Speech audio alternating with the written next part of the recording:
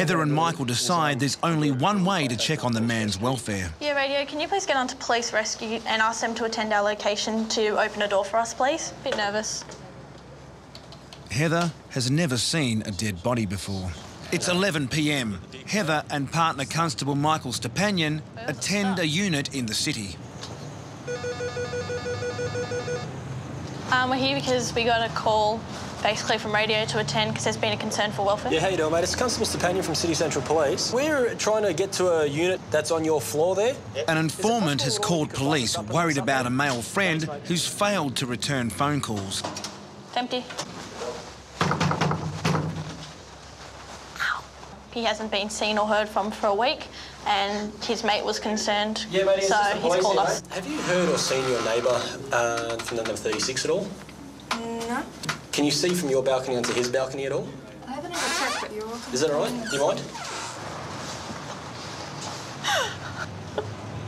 There's a television on in there. Oh God. And you can actually see a TV or something flashing in there, so it kind of indicates to us that there could be someone in there. Heather and Michael decide there's only one way to check on the man's welfare. Yeah, radio, can you please get onto police rescue and ask them to attend our location to open a door for us, please? 99% of the time it is a nothing job, but the last thing we want it to be is a something job and then have to come back here in a month's time if there's a bad smell coming from the apartment. I really hope there's not a deceased in there. Uh, well, you joined the job. What, what did you want to do? you just wanted to join. I walk in like this. Don't really know how I'm going to react if something is pretty bad in there. Yeah.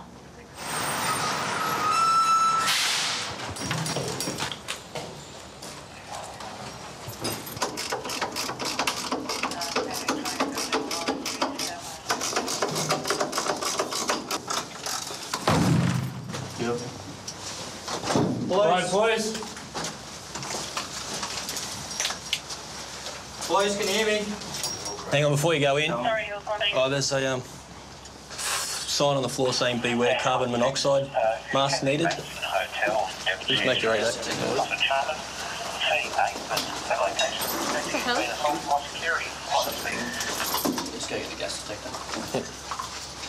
Police rescue have got all their gear now, basically their oxygen stuff to go in and find out if there is a chemical leak or what exactly has happened. A note has been found on the floor warning of a deadly gas. If he has had a gas leak in his left, but it's kind of pointing towards the other way at the moment. Do you guys want a torch?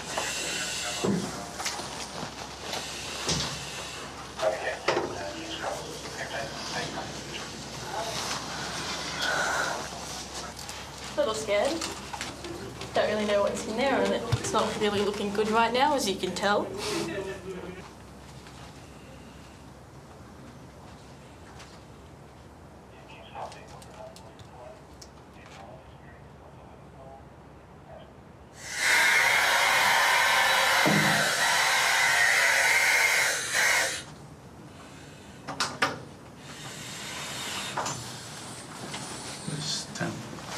Confirm deceased. Yep. Bottom. I'll shut. I'll take it down. We've ventilated. it. We've aired out the windows. There's no other dangers there, so. Alright, no worries. We'll post them. Alright.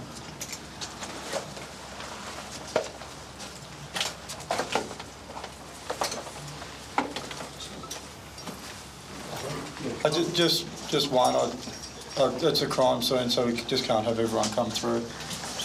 So I stay here? Yes, please. Yeah. I don't think we're really expecting it when we turned up. We thought we'd just kind of get a no answer and leave, but yeah.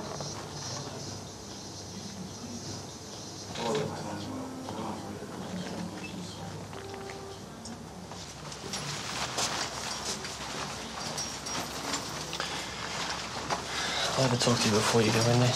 I'm not going in there, am I? Not yet. Not yet. Heather, Yeah. Can you start a crime scene log, please? Yep. Maintain a Yes. crime scene until it's established that it's uh, not suspicious. Okay. Heather will have to record everyone who comes in and out of the apartment. So, our worst fears.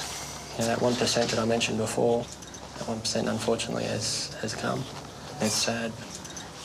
I was just telling Heather before, you You know, you just got to separate yourself from it and just do our job. That's what we're here for. So we're going to have to show her.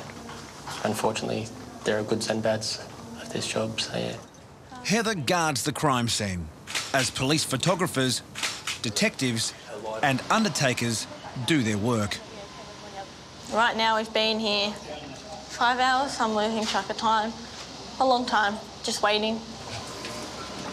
At 5 a.m., undertakers remove the man's body.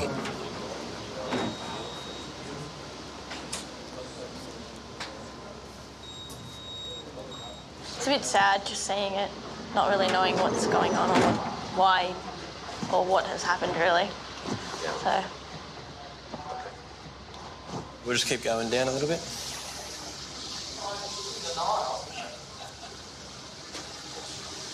Three months ago, Heather Atwater, just 19, graduated from police college. I suppose the thing that does scare you is no matter what they teach you here, you're never going to be prepared. But every cop you meet, you're like, it's nothing like this in the real world. I suppose the first deceased you go to, they always tell you that you're always going to remember it. I suppose you have to learn to deal with it. Just don't touch anything. oh, well, yeah. Now Heather and partner Michael enter the apartment of a deceased man to record evidence for the coroner. Boxes that are filled with some property that the deceased has packed and addressed to different people. He left all the lights off in the place when we got here, and he actually sort of killed the main switch, the main power to the apartment, but for some reason the TVs were still left on. So That makes sense. it doesn't make sense, but um, unfortunately, not much does.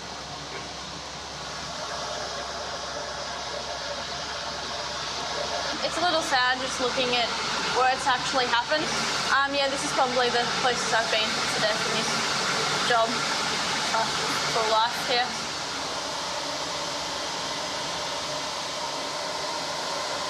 Uh, right now the time is 5.15. We've been here for about six hours.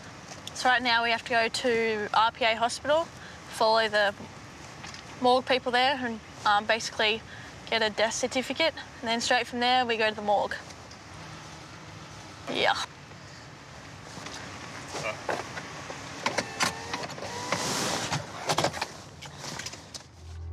6 a.m. Probationary Constable Heather is at Sydney's Glebe morgue. The deceased man has been brought here after being pronounced dead at hospital. The death is not suspicious. I'm going to leave Heather with uh, one of the workers to just get a description of the body, clothings, and property that's on the person. Bit nervous. Heather has never seen a dead body before. As bad as it sounds, you sort of go cold, but you just you have to. Otherwise, you go to these things and they start affecting you, then you probably won't last long in the job. Come on, boss. Police are required to witness the body being searched.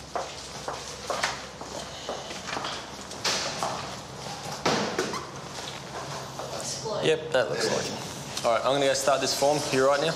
You're leaving me in here with a body? Yeah. I sort of feel guilty leaving Heather in there.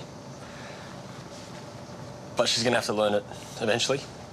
Unfortunately, it's just part of the job. Hey, clothing, one pair of grey shorts. She's still young. You know, she's only 19. So, you know, putting that sort of responsibility on someone's pretty scary. One of those things, mate. And that's no longer a person, that's just a vessel, a body. Just depends when we've got the picture, possibly. Yeah. You are all right? Yeah, I'm just gonna do my work now. Let's go outside. We'll have a quick talk outside. Come on. You all right? Hang in there. Hang in there. All right? It's what we do. All right? This is the, that part of the job. Nothing is worse than this. You've just done that. That's incredible. Nothing wrong with having a couple of tears. There's nothing wrong with that at all.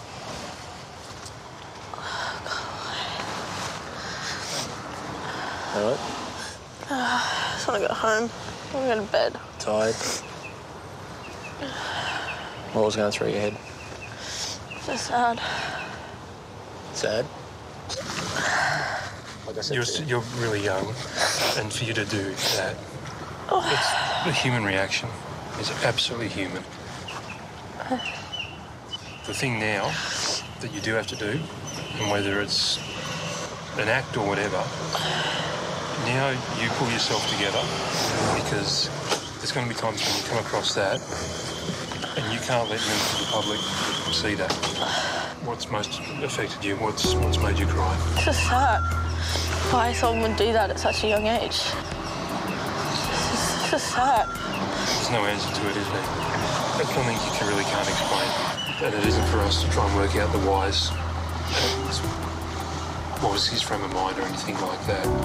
We've got to establish the facts in this case. And that's all that matters. And if you've got to be cold-hearted about it, you've got to be cold-hearted about it. Yeah. But you're doing really well, Heather. You're really doing well. We should do the paperwork. paid- Yeah. Paperwork. Need that's the cure-all, That's